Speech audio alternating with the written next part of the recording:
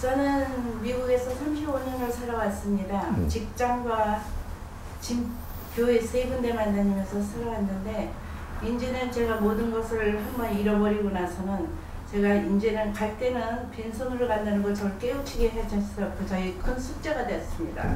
앞으로는 제가 어떻게 어디서 무엇을 하면서 어떻게 살아야지 제가 내가 제대로 사는 건지를 찾기 위해서 이 교회 저 교회 뭐 성당 진짜 많이 다, 다녔는데 그러면서 만난 사람이 지금 제 옆에 같이 있는 사람인데 이 정법 공부를 같이 시작을 하면서 같은 뜻으로 이렇게 함께 간다는 이 새로운 저의 이 시간을 깨달음을 알게 됐습니다. 그래서 이제는 제가 지금 이 지금 치킨 비즈니스를 이 12년을 혼자 하고 있었는데 이거를 계속 해야 되는 건지 아니면 공부를 계속 해야 되는 건지 아니면 더 큰 사업을 제가 벌려야 되는 건지 아직 제가 어떻게 갈 길을 모- 몰라서 가르침을 받고 싶습니다. 예. 어, 지금 질문하신 분은 큰 사업을, 큰 가게를 할 수 있는 사람이에요. 어, 큰 가게를 할 수 있는 사람인데, 왜 내가, 어, 지금 갑자기 어려워져 버렸느냐. 우리가 지금 내한테 이렇게 무언가를 이렇게 그 손님도 주고 장사를 잘 되게 해줘갖고 경제를 주고 이렇게 한 게, 내한테 지금 이래 줬던 거는 재산을 이루라고 줬던 게 아니에요. 근데 재산으로 모아버린 거야. 내한테 주는 재산을 줄 때가 있고, 재산이 안 되는 경비를 줄 때가 있어요. 내한테 경비를 주면서 많은 사람들을 보내주면 경비를 주는 거죠. 어, 내가 쓸 수 있는 경제를 준다, 이 말이죠. 그럼 그 경제를 잘 쓰면서 살았어야 돼. 어, 살 쓰면서 살면서 내가 쓰고 남는 거를 모아두는 거예요. 안 쓰고 모아두면 이건 다 뺏어갑니다. 쓰고 모아두면 안 뺏어가요.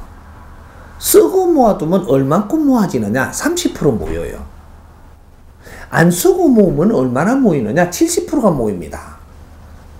어, 이게 쓰라고 줬는데 70% 모았다.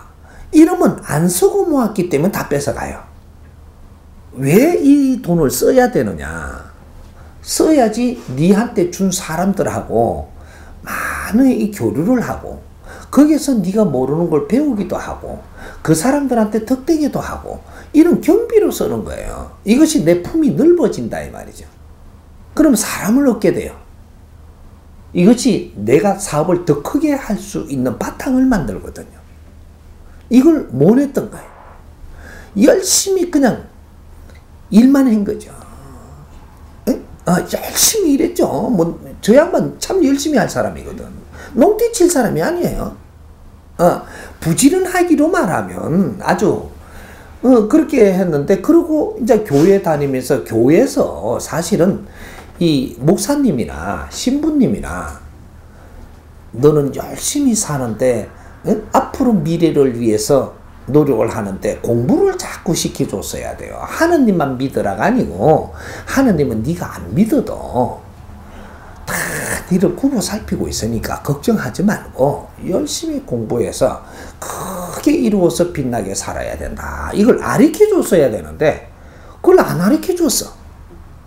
그리고 교회를 축창 쫓아다니며 11조 말고도 많이 줬어요. 저 사람이 돈을. 어. 그러게 그런 것만 자꾸 갖다 주고 자꾸 하나님만 믿고 하니까 네 공부하라고 활 뺏어 본 거라. 어. 그러니까 네가 없어지면 다시 이제 이 사람 저 사람 또 만나면서 많은 걸 경험 또 하겠지. 공부하라고. 응? 어, 이제 정법을 만났으니까 이 내가 어려워져서 지금 정법 만났어요. 안 어려워졌으면 교회하고 잘 놀았죠. 어려워졌으니까 교회보다는 뭔가를 찾다가 보니까 법을 만난 거예요. 진짜 하느님의 법칙을 만난 거라. 어, 그러니까 내가 교회 가서 배울 일이 없죠. 교회는 가갖고 잘 가르쳐 주면 교회 가는 거예요. 내가 가르쳐 주는 거는 예수가 언제 태어났다 이걸 가르쳐 주는 게 아니에요. 가르쳐 준다는 건 내가 살아나가는 인생에 도움되는 걸 가르쳐야 돼. 그걸 가리킨다라고 하는 거예요. 그래서 교회 이름이라는 것이 가리킬 교를 붙인 거예요. 가리킬 교. 응? 어, 그래서 가르치고 모이서 회의하고 그죠? 교회 이렇게 하는 거예요. 어, 모이는 데고 가르치는 데다 이 말이에요.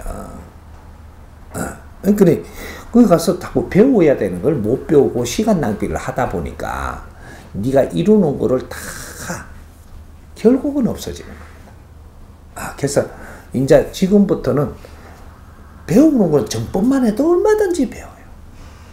응? 지구촌 어디 있는 사람도 정법만 하면 내가 여기에서 법문하는 게 지구촌에 다 같이 공부할 수 있어요. 어, 교회고 어디고 안 가도 돼. 아, 근데 내가 공부를 어느 정도 좀 하고 나서 그러고 교회 한번 가보세요. 한 가보면 됩니다. 가보면 내가 진짜 공부를 했는지 안 했는지 가보면 알아. 절에도 다니던 사람이 내가 진짜 공부를 만나가지고 이 정법을 조금 내가 한 뭐 이게 몇 개월 공부를 하고 그 다음 절에 안 가보세요. 어떤 공부를 했는지를 본인이 알아. 안 들리고 안 보이던 게 보이고 분별이 달라져. 그만큼 달라져. 단 몇 개월인데 10년, 20년 다닐 때는 못 보던 게 어째 몇 개월 만에 이게 다 보여. 바른 공부하면 그렇게 되는 겁니다. 그럴 때 한번 둘러도 보고, 아, 저 사람들이 이만, 내도 이러고 있었지 않는가. 아, 이분들을 어떻게 해서 도와줄까? 이런 생각도 해봐야 되는 게라. 어, 이제 그런 것들, 이제는, 어, 그, 뭐를 할까를 걱정하지 말고, 내가 하고 싶은 걸 하세요. 어, 이걸 하면 혹시 또 전에처럼 안 망할란가? 이런 생각하지 말고, 마음 놓고 하세요. 내가 공부를 바르게 하고 있는데, 하는 일도 잘 되게 해줄 테니까, 마음 놓고 하세요.